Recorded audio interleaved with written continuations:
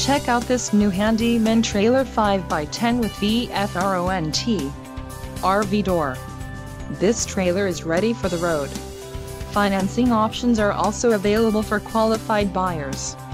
Call now to speak with the dealer and find out why we are the preferred destination for quality trailers.